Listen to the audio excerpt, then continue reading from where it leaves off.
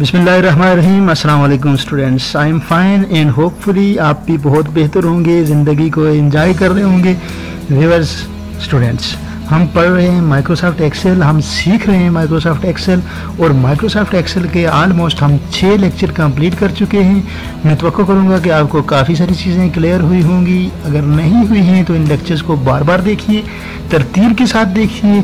आप अगर ग्रेजुअली इनको खास तरतीब के साथ देखेंगे तो आपको चीज़ों की समझ आएगी, आप चीज़ें पिक करेंगे और अगर आप बीच बीच से इन लेक्चर को सीखेंगे तो शायद आप उस तरह से इस्तेफादा हासिल नहीं कर सकेंगे। आज हमने क्या पढ़ना है? आज हम क्या सीखने जा रहे हैं? कौन सी नई चीज़ आज हम सीखेंगे, ये जानने के लिए हम चलते हैं माइक्रोसॉफ्ट एक्सेल पर। जस्ट यहाँ पर क्लिक करेंगे और माइक्रोसॉफ्ट एक्सेल का जो प्रीवियस टास्क था प्रीवियस काम था, जो लास्ट लेक्चर में हमने जहाँ छोड़ा था, वही स्क्रीन आपके सामने ओपन होकर आ गई है। मैं एक बार इस लेसन के अंदर मैं तमाम चीज़ें रिकैप कर लेता हूँ ताकि आपका टच बना रहे पिछले लेसन के साथ। सबसे पहले हमने एक्सेल का आगाज़ किया था टास्क बार से हमने टास्क बार टाइटल बार से हमने जाना था कि टाइटल बार वो बार होती है जहाँ पर आपके डॉक्यूमेंट का नाम होता है या टाइटल होता है। उसके बाद कैप्शन बटन के बारे से हमने बात की थी कि कैप्शन बटन ये तीन बटन हैं। इनको कैप्शन बटन कहते हैं, ये कैंसिल बटन है रिस्टोर बटन है मिनिमाइज बटन है। क्विक एक्सेस बार के बारे से हमने डिस्कस की थी। यहाँ पर अंडू रीडू इस्तेमाल होने वाले हैं और ख़ुद मॉडिफाई भी कर सकते हैं। फिर नीचे आए थे और हमने कहा था कि यहाँ पर मेन्यू मेन्यूज़ हैं ये सारे। यहाँ की पूरी बार जो है मेन्यू बार है, और मेन्यू बार में हमने होम मेन्यू पर डिस्कशन का आगाज़ किया था, और होम मेन्यू के अंदर हमने क्लिप बोर्ड को पढ़ा था फॉन्ट को पढ़ा था अलाइनमेंट को पढ़ा था नंबर को पढ़ा था, और स्टाइल्स को डिस्कस कर रहे हैं। और स्टाइल के अंदर कंडीशनल फॉर्मेटिंग जो है, उस पर हमारी डिस्कशन जारी है।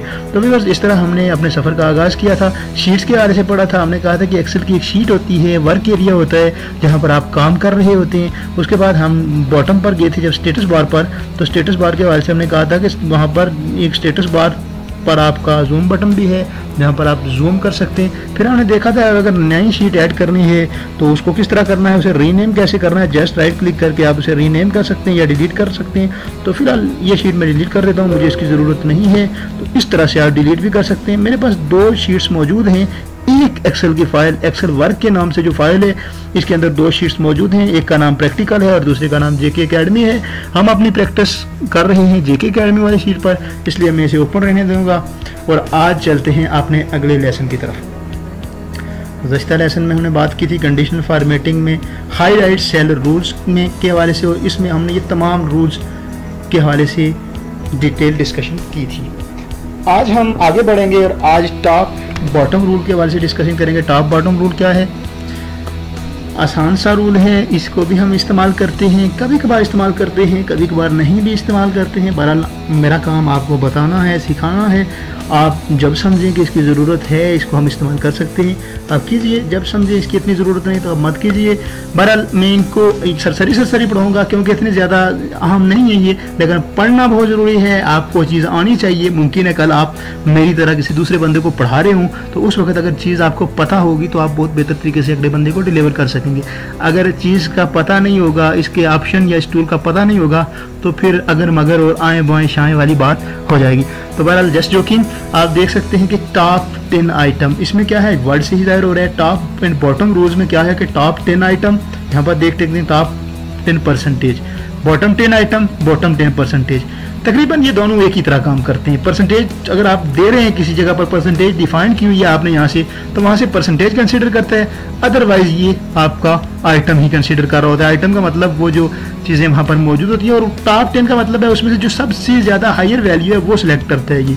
तो हम देखते हैं किसी चीज़ पर अप्लाई करके सपोज़ मैं रेंज सेलेक्ट कर लेता हूँ, सबसे पहले रेंज सेलेक्ट करना बहुत ज़रूरी है इसके लिए कि इस रेंज के अंदर से ये टॉप टेन यानी सबसे हायर वैल्यू फाइंड करेगी टॉप का मतलब सबसे हायर है तो ये हायर वाली वैल्यूज़ को फेच करके दिखाएगा आपको।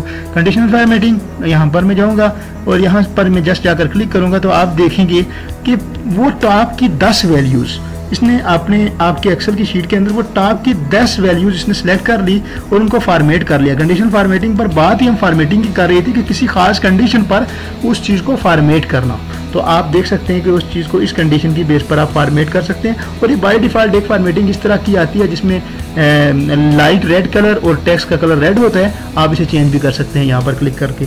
तो बहरहाल मकसद वो नहीं था मकसद आपको ये समझाना था कि ये टॉप टेन फॉर्मेट सेल होते क्या हैं? तो इस तरह आप कह सकते हैं कि जो टॉप टेन की वैल्यूज़ हैं वो सिलेक्ट होंगी। देखें ये वैल्यूज़ टॉप टेन की नहीं थी। सत्तर जो है बिल्कुल लो लेवल पर आ रही है। नाइन्टी जो है ये भी लो लेवल पर आ रही है और, और वन ट्वेंटी जो है ये भी लो लेवल पर आ रही है। ये छोड़कर बाकी जो वैल्यूज़ बाकी दस वैल्यू जो टॉप की बची वो इसने सिलेक्ट कर ली। तो इस तरह आप इसको अप्लाई कर सकते हैं। मैं दिखाना चाहता हूँ मैं अप्लाई नहीं करूँगा मैं कैंसिल कर दूँगा। बिल्कुल इसी तरह आप परसेंटेज को भी इस्तेमाल कर सकते हैं। यहाँ पर जाएँगे टॉप टेन परसेंटेज पर जाएँगे तो यहाँ पर परसेंटेज एक्चुअल में है कोई नहीं, हमने किसी पर भी परसेंटेज अप्लाई नहीं की हुई है। तो इसने जो सबसे टॉप वाली वैल्यू थी, वही आपको निकाल कर दिखा दी। हाँ अगर हम परसेंटेज इस्तेमाल कर रहे होते, यानी इसके साथ परसेंटेज का साइन होता तो फिर ये जिस तरह आइटम को इसने दस आइटम को फैच किया है, उस तरह परसेंटेज को ये फैच करके आपको दिखाता।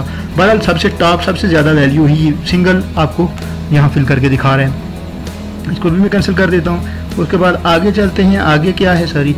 आगे चलते हैं। आगे चलने के बाद आप देख सकते हैं कि यहाँ पर bottom ten item world series आ रहा है, यहाँ पर मैं क्लिक करता हूँ तो ये सबसे छोटी वैल्यूज़ यहाँ से सिलेक्ट होगी, यानी कि बॉटम टेन हमारे पास वैल्यू ही टोटल चौदह या पंद्रह वैल्यू तेरह वैल्यूज़ हैं तो उसी को टॉप रखता है पहले, फिर वो जब, जो छोटी होती हैं सबसे तो उनको टॉप जब सिलेक्ट करता है तो उनको इग्नोर करते हैं, जब बॉटम करते हैं तो जो सबसे बड़ी तीन वैल्यूज़ होती हैं, इनको इग्नोर करता है और बाकियों को सिलेक्ट करते हैं। तो आप देख सकते हैं कि जब आपने format cell that rank on the bottom यानी कि सबसे छोटी वैल्यू सिलेक्ट की तो आपकी बड़ी वैल्यू ऑन सिलेक्ट है यहाँ पर।